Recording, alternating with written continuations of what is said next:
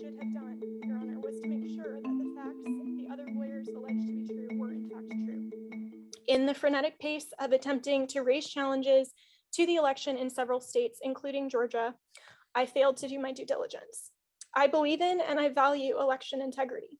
If I knew then what I know now, I would have declined to represent Donald Trump in these post election challenges.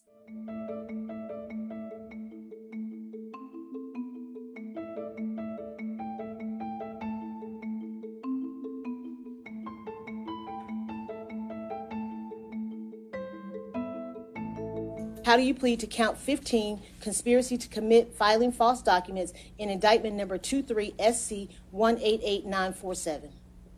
Guilty.